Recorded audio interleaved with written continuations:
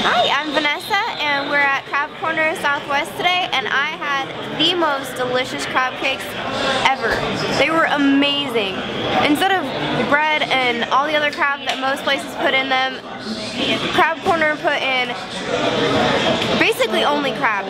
They were delicious and the crab dip is phenomenal. I could not stop eating those. I could not get my hands off of them. The fries are incredible. Get everything that you can. Everything is just amazing.